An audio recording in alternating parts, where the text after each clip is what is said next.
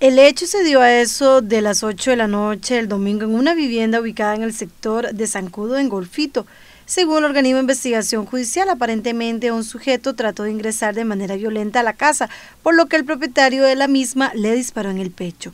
Esta persona murió en el lugar y aún no ha sido identificada por las autoridades. Se presume que esto se trataría de un asalto.